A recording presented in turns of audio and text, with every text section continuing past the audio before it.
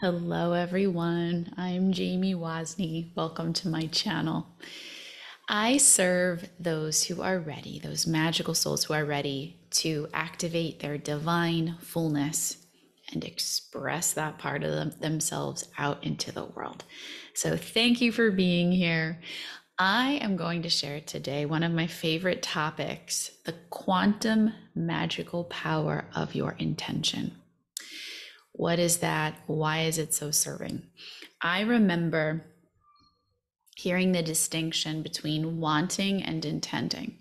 When we want something, it's a signal to the universe that says, There is lack, I don't have it yet. So when we're needy, when we're longing, when we're wanting, it signifies we're not whole and complete. I don't have this thing, and I have to have this thing to fill in this hole. It's subtle, right? But on this channel, we're all about the subtleties.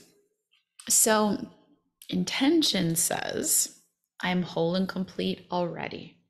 I am one with the quantum field of life. I have the power of God within me. I am co creating with the universe. And I am setting my intention here. What we know about energy is that where our intention, our energy, our focus goes, where our focus goes, our energy flows.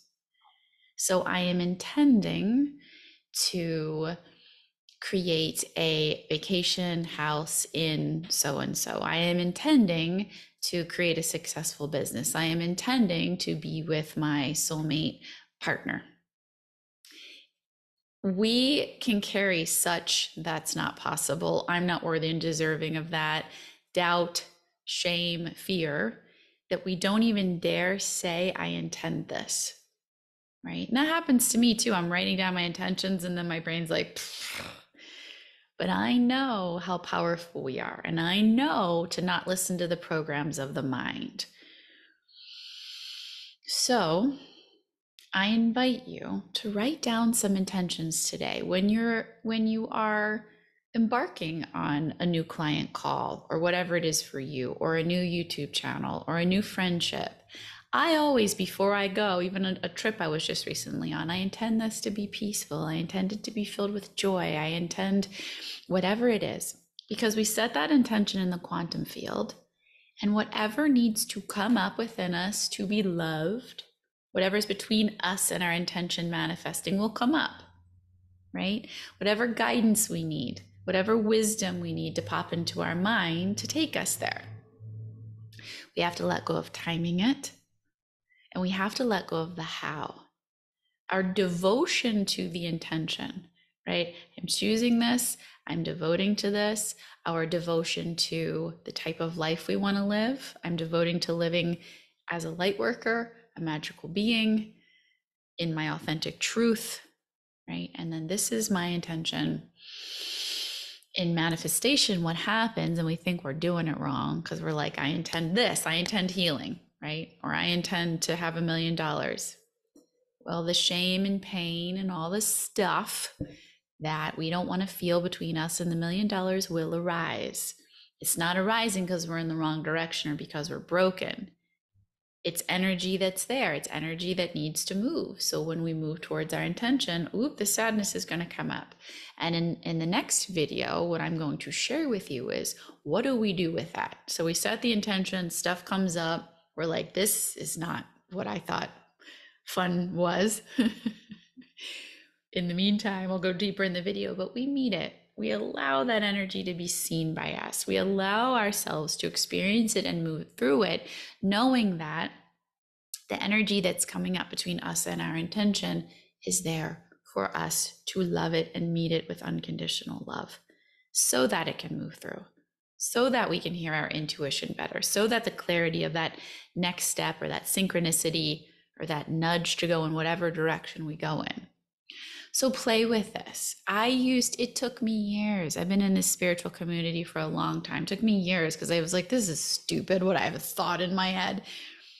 It's stupid. We think it's stupid if we don't know our power and we don't know that we're energy and we don't know that we're connected and that we don't know that when we focus in a direction, the universe starts moving according. We're like focusing there, and the universe goes, Oh, okay, cool.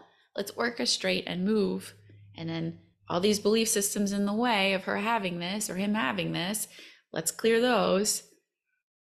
So hold, ground, devote, boom. This will be so. And then watch everything align accordingly. And then notice the fears and the beliefs that come up in the way of your intention. Right. And then I have many videos about how we can clear those fears. There's lots to do with that. So, what are your intentions? I invite you to share them here.